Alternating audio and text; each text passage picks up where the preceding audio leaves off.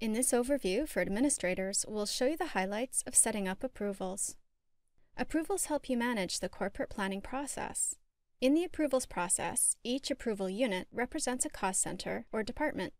Approval units are a combination of entity, scenario, version, and any custom dimension members that identify plans for review and approval. The people who review an approval unit form its promotional path, which usually reflects your business structure. With approvals, you can perform the following tasks.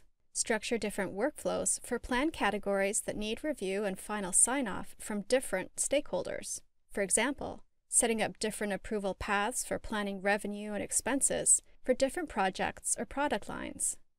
Create approval units to best support different scenarios and versions.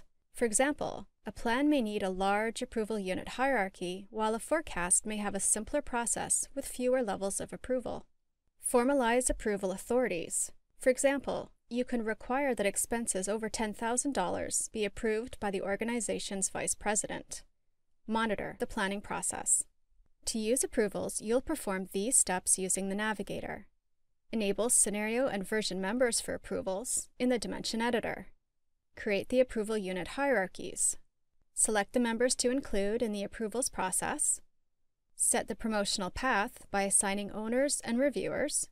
Enable the viewing of approval unit totals. Select the users to notify when approval units move from one user to another. And, optionally, build data validation rules to enforce limits on data and set authority levels.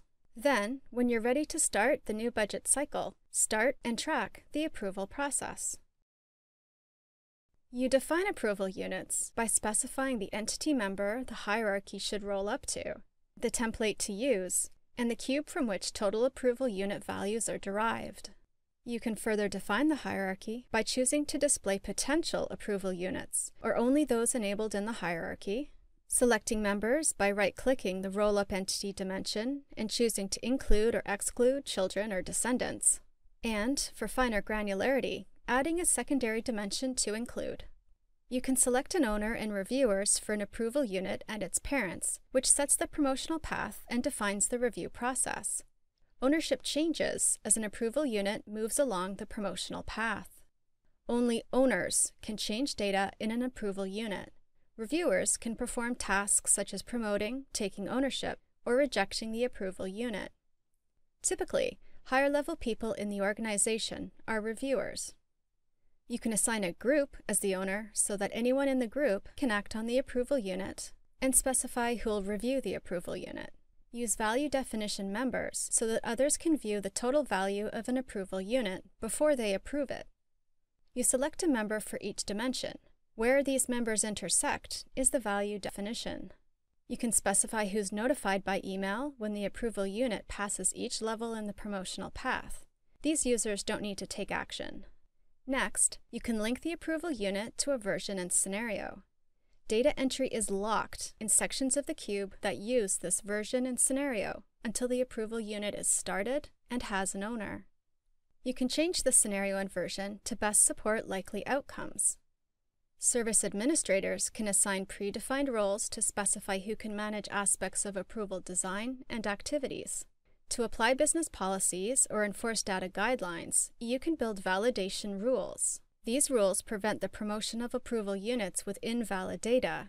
You can set up a rule that evaluates the amount to determine who must approve it.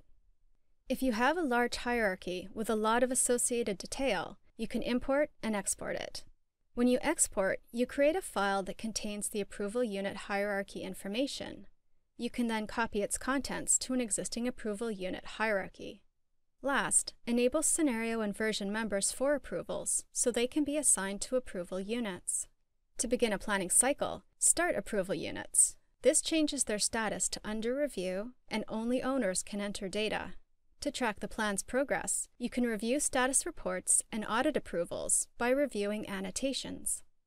Now, planners can take action on the appropriate approval unit. When all approval units are approved, your plan is ready. To best support approvals, you can create deadline-driven tasks for approval-related activities, update your user preferences, and enable notifications so you know when you've been delegated to an approval unit or become an owner, and give directions to others when you're unavailable.